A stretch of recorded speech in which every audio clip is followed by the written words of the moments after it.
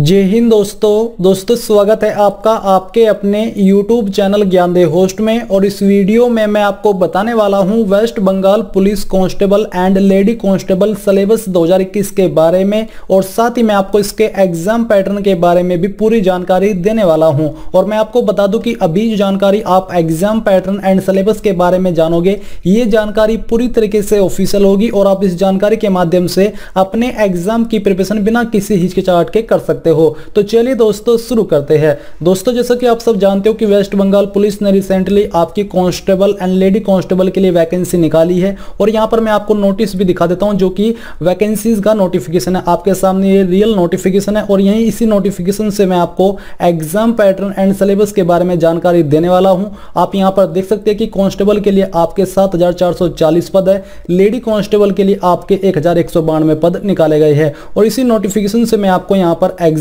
Pattern and syllabus के बारे में जानकारी एक्सप्लेन करने वाला हूँ। तो चलिए दोस्तों, जान लेते हैं। तो यहाँ पर दोस्तों, बात करें आपके सिलेक्शन प्रोसेस के बारे में, यानी कि किस तरह आपका सिलेक्शन किया जाएगा। तो आपका जो सिलेक्शन है, वो आपका प्रिलिमिनरी रिटर्न टेस्ट जो कि आपका फॉलो किया जाएगा फ़िज़िकल मेज़रमेंट टेस्ट और फ़िज़िकल इफिशियंसी टेस्ट इसके बाद आपका फाइनल रिटर्न एग्ज़ाम होगा और फिर आपका इंटरव्यू होगा। और इसी क्रम में ही आपका सिलेक्शन होने वाला है। यानी कि सबसे पहले आपका प्रिलिमिनरी रिटर्न टेस्ट होगा, उसके बाद आपका फ़िज़िकल मेज़रमेंट टेस्ट होगा उसके उसके बाद आपका फ़िज़िकल इफिशियंसी टेस्ट होगा, फिर आपका फाइनल रिटर्न एग्ज़ाम होगा और जो इसको भी क्लियर कर जाएँगे, उनका फिर इंटरव्यू होगा और सबसे बाद में आपका मेडिकल हो सकता है, जो कि एक शॉर्ट मेडिकल होगा, कोई एक्सप्लेनेशन वाला मेडिकल नहीं लिया जाएगा। तो सबसे पहले बात करते हैं आपके प्रिलिमिनरी रिटर्न टेस्ट के बारे में कि इसमें क्या आएगा और क्या नहीं आएगा। तो यहाँ पर दोस्तों, जो आपका प्रिलिमिनरी रिटर्न टेस्ट है, इसके लिए आपको कुल हंड्रेड मार्क्स दिए जाएँगे।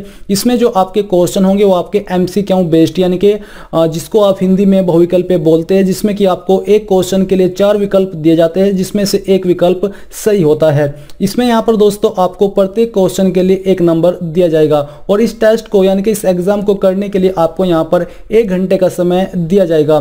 Question paper will be set in two language और जो आपका क्वेश्चन पेपर है आपका दो लैंग्वेज के अंदर आएगा। बंगाली एंड नेपाली यानी कि इंग्लिश भी नहीं होगी और ना ही हिंदी होगी। अगर आप सोच रहे कि अन्य स्टेट से अप्लाई कर ले, अन्य स्टेट वाले कैंडिडेट तो उसमें वैसे भी अप्लाई नहीं कर सकते, क्योंकि उनको बोला है कि अगर आप अन्य स्टेट से अप्लाई करोगे तो आपको बंगाली लैंग्वेज लिखनी, पढ़नी और बोलनी आनी चाहिए। इसलिए यहाँ पर हिंदी लैंग्वेज ऐड भी नहीं है और ना ही इंग्लिश है। आपका पेपर सिर्फ़ बंगाली एंड नेपाली लैंग्वेज के अंदर आएगा। इसका जो एग्ज़ाम पैटर्न है, वो यहाँ पर इन्होंने दिया है। आपके जो क्वेश्चन तैयार किए जाएँगे, वो आपके general awareness and general knowledge जिससे आपके 50 मार्क्स के लिए क्वेश्चन होंगे। यानी कि आपको एक क्वेश्चन के लिए एक नंबर दिया जाएगा। एलिमेंट्री मैथमेटिक्स जो कि माध्यमिक स्टैंडर्ड की होगी, इसके लिए आपको 30 मार्क्स यानी कि 30 क्वेश्चन दिए जाएँगे। रीजनिंग से आपके 20 मार्क्स यानी कि 20 क्वेश्चन एग्ज़ाम के अंदर आएँगे। अब यहाँ पर बात करते हैं आपकी निगेटिव मार्किंग के बारे में, जिसके बारे में जानने को आप उत्सुक है कि है या नहीं है। तो यहाँ पर दोस्तों दिया there will be negative marking for each incorrect answer जो कि आपकी वन फोर्थ की होने वाली है। तो दोस्तों, ये सुनकर के मुझे बहुत बुरा लगा कि इसके अंदर आपकी निगेटिव मार्किंग है, क्योंकि मैं जानता हूँ कि आप लोगों के अंदर एक तुक्का मारने की जो अद्भुत कला होती है, आप इस अद्भुत कला को यहाँ पर नहीं दिखा पाओगे। अगर दिखाओगे तो आपको लेने के देने पड़ जाएँगे। इसलिए मेरी भी आपसे एडवाइस यही है कि आप अपनी इस कला का जो प्रदर्शन है निगेटिव मार्किंग का, वो न करें। अगर आप करोगे तो आपको यहाँ पर बहुत सारा खामियाजा भुगतना पड़ेगा। मैं जानता हूँ कि आपके अंदर जो कला है, आप चाहते कि इस कला को आप दिखाए और जो आपके अंदर एक ये ऐसी कला है जिसका आपको भी नहीं पता कि ये कला मानी जाती है बट ये कला है। अब दोस्तों, मैं आपको बताना चाहूँगा अन अकेडमी के बारे में, जो कि इंडिया का लार्जेस्ट लर्निंग प्लेटफॉर्म है, जहाँ पर आप अन अकेडमी को ज्वाइन करके इसके प्लस फीचर्स का फ़ायदा उठा सकते हो, जिसमें कि आपको मेनली लाइव क्लासेस दी जाएगी। इंडिया के टॉप एंड बेस्ट एजुकेटर के माध्यम से, जिनके पास काफ़ी सालों का एक्सपीरियंस है, और इसके अलावा यहाँ पर आपको unlimited access to all courses मिलेगा। और जो आप यहाँ पर दोस्तों फीचर देख पा रहे हो बेसिकली आपको इन सभी फीचर्स का फ़ायदा अन प्लस के साथ मिल जाएगा। तो दोस्तों, देर किस बात की है? जल्दी से अन को ज्वाइन कर लीजिए, और ज्वाइन करते वक्त आपको मेरे कोड जीडीएस टेन का इस्तेमाल कर लेना है। इसको इस्तेमाल करने पर आपका फ्री प्लान अनलॉक हो जाएगा। इसके अलावा अगर आप यहाँ पर प्लस लेते हो तो आपको 10% की छूट तुरंत मिल जाएगी। और दोस्तों अन आपके लिए यहाँ पर लेकर क्या है अलक्सिया NDA complete batch course for 2021 जिसमें कि आपको इन एजुकेटर के द्वारा, इन सब्जेक्ट की लाइव क्लासेस या फिर प्रिपरेशन कराई जाएगी,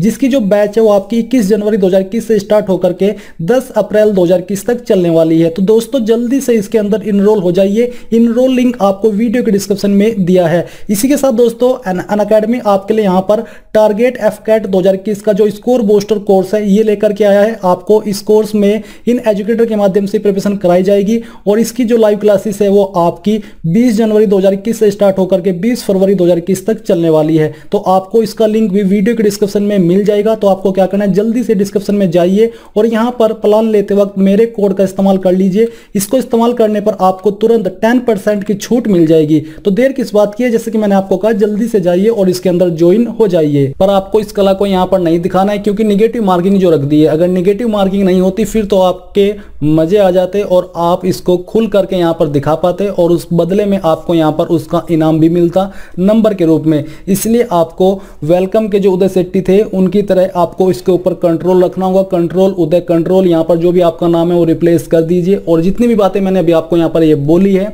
ये सभी एक सार्केस्टिक वे में बोली है। तो चलिए बात करते अन्य जानकारी के बारे में। तो बेसिकली आपने जान लिया कि आपकी निगेटिव मार्किंग है, जो कि आपकी वन फोर्थ की है। यानी कि अगर आप चार क्वेश्चन गलत कर देते हो तो आपका एक नंबर कट कर दिया जाएगा, जो कि आपने सही आंसर दे करके कमाया है। इसके अलावा दोस्तों, यहाँ पर आपको बोला है कि the marks obtained by a candidate in the preliminary written test will not be considered for preparing final merit list यानी कि जो मार्क्स आप यहाँ पर आपके प्रिलिमिनरी रिटर्न टेस्ट के अंदर प्राप्त करोगे, जब आपकी फाइनल मेरिट लिस्ट तैयार की जाएगी तो ये उसके अंदर कंसिडर नहीं किए जाएँगे। ये सिर्फ़ आपके क्वालिफाई नेचर के हैं। इसके बाद दोस्तों, जब आपका ये प्रिलिमिनरी रिटर्न टेस्ट क्वालिफाई हो जाए तो उसके बाद आपका फ़िज़िकल मेज़रमेंट यानी कि पीएमटी होगा। इसके अंदर क्या है, वो आपको यहाँ पर ऊपर बताया गया है। बेसिकली यहाँ पर आपकी ये जो चेस्ट का माप है और जो हाइट है वो लिया जाएगा। कॉन्स्टेबल मेल में इन कैटेगरी के लिए कैंडिडेट ऑफ़ ऑल कैटेगरीज इन कैटेगरी को छोड़ करके जो यहाँ पर दी गई है, इसमें इनकी हाइट कम से कम एक सौ सड़सठ सेंटीमीटर होनी चाहिए। वेट आपका 57 किलोग्राम से कम न हो।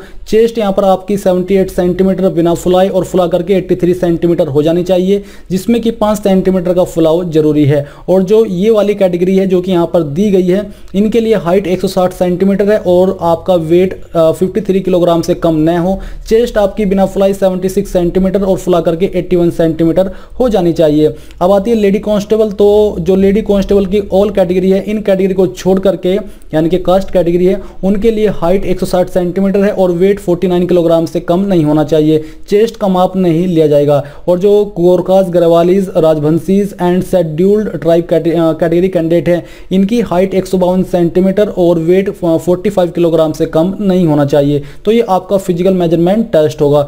जो लोग इसको भी क्वालिफाई कर जाएँगे, फिर उसके बाद उनका यहाँ पर फ़िज़िकल इफिशियंसी टेस्ट यानी कि पीईटी होगा। तो इसमें यहाँ पर कांस्टेबल की जो पोस्ट है, इस पर आपको 1600 यानी कि 1600 मीटर्स रन जो बेसिकली 1.6 किलोमीटर होता है, वो दौड़ आपको लगानी है, जिसके लिए आपको 6 मिनट 30 सेकंड का समय दिया जाएगा। और जो लेडी कांस्टेबल है, इनको यहाँ पर 800 मीटर की दौड़ लगानी होगी, जिसके लिए इनको यहाँ पर चार मिनट का समय दिया जाएगा। फिर दोस्तों, यहाँ पर आपको बोला कि the venues for PMT and PET will be decided by the West Bengal police यानी कि ये आपका बाद में डिसाइड किया जाएगा जब आपका प्रिलिमिनरी टेस्ट हो जाएगा और आपको बता दिया जाएगा कहाँ की कहाँ पर आपको आना है। PMT and PET are qualifying in nature यानी कि जो आपका पीएमटी एंड पीईटी है, यह भी आपका क्वालिफाइंग नेचर का रहेगा। इसके लिए आपको कोई मार्क्स नहीं दिए जाएँगे। फिर दोस्तों, जब आपका ये भी क्लियर हो जाए, इसके बाद आपका फाइनल रिटर्न एग्ज़ाम होगा, जिसके लिए आपको टोटल 85 मार्क्स दिए जाएँगे। इसमें यहाँ पर दोस्तों आपके मल्टीपल चॉइस क्वेश्चन होंगे, यानी कि इसमें फोर चॉइस जैसे कि मैंने आपको शुरुआत में ही एक्सप्लेन किया था कि एक क्वेश्चन के लिए आपको चार विकल्प दिए जाएँगे, जिसमें से एक विकल्प सही होगा। और यहाँ पर भी आपको प्रत्येक क्वेश्चन के लिए एक नंबर दिया जाएगा और एग्ज़ाम करने के लिए आपको एक घंटे का समय दिया जाएगा। Question paper will be set यहाँ पर भी दोस्तों, आपके क्वेश्चन पेपर की लैंग्वेज बंगाली एंड नेपाली के अंदर होगी। जो इंग्लिश लैंग्वेज के क्वेश्चन है, वो आपके सिर्फ़ इंग्लिश के ही अंदर आएँगे। उसमें आपको कोई चॉइस नहीं दी जाएगी। और जो आपका एग्ज़ाम पैटर्न है, वो आपका यहाँ पर basically general awareness and general knowledge जिसके लिए आपको 25 क्वेश्चन और 25 मार्क्स दिए जाएँगे। इंग्लिश के लिए आपको 25 क्वेश्चन 25 मार्क्स एलिमेंट्री मैथमेटिक्स माध्यमिक स्टैंडर्ड के लिए आपको 20 मार्क्स और 20 question reasoning and logical analysis के लिए आपको 15 क्वेश्चन और 15 मार्क्स दिए जाएँगे। यहाँ पर भी आपकी निगेटिव मार्किंग होने वाली है, जो कि आपकी वन फोर्थ की होगी, यानी कि अगर आप एक बेसिकली यहाँ पर आपकी वन फोर्थ की निगेटिव मार्किंग होने वाली है। इसके बाद दोस्तों, जो लोग इसको भी क्लियर कर जाएँगे, उनका फिर यहाँ पर इंटरव्यू होगा, जिसके लिए आपको टोटल पंद्रह मार्क्स दिए जाएँगे और यहाँ पर इंटरव्यू कैसा होता है ये तो आपको मालूम है ही, इसमें आपका इंटरव्यू होगा। इंटरव्यू के बारे में अगर आप चाहते हैं कि मैं आपके लिए एक अलग से वीडियो बनाऊँ और आपको अच्छे से एक्सप्लेन करूँ तो आप मुझे कमेंट करके बता सकते हैं कि सर हमें इंटरव्यू से रिलेटेड वीडियो चाहिए जिससे कि हमें नॉलेज हो जाए कि किस तरह का इंटरव्यू होता है। तो ये आपका जो पूरा एग्ज़ाम पैटर्न है हो चुका है। अभी मैं आपको सिलेबस के बारे में बताता हूँ, यानी कि जो यहाँ पर मैंने आपको एग्ज़ाम पैटर्न के अंदर सब्जेक्ट बताया, इन सब्जेक्ट में किन टॉपिक से क्वेश्चन आते हैं, उसके बारे में बात कर लेते हैं। तो यहाँ पर दोस्तों जो आपकी इंग्लिश है, माध्यमिक स्टैंडर्ड की, इसमें जो आपके टॉपिक्स है, वो आपका comprehension grammar error correction synonyms and antonyms spelling idioms sentence structure one word substitutions improvement clozes verbal comprehension adjectives phrases ETC ये आपके टॉपिक्स होने वाले हैं।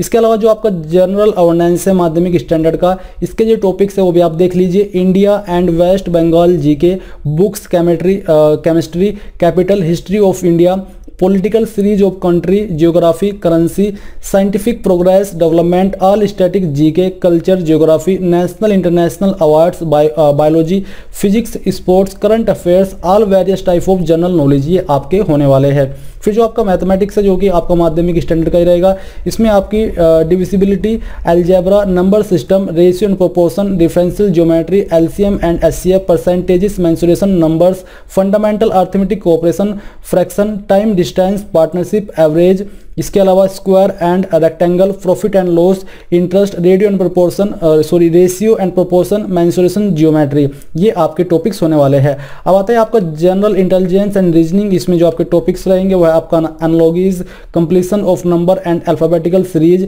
coding and decoding mathematical operation similarities and differences relationship analytical reasoning syllogism jumbling Venn diagrams puzzle data sufficiency statement conclusion statement course of action decision making maps integration of ETC ये आपके दोस्तों यहाँ पर topics होने वाले हैं। तो basically topics का मतलब यही होता है कि मान लीजिए आपके जो क्वेश्चन है जनरल इंटेलिजेंस एंड रीजनिंग के, वो जो आपके आएँगे, वो आपके इन टॉपिक्स से आएँगे। वैसे तो इस सब्जेक्ट के अंदर काफ़ी सारे टॉपिक्स आते हैं बट ये वो टॉपिक्स है जिनसे मेनली क्वेश्चन आपके तैयार किए जाते हैं तो आपको इनको पढ़ना होगा।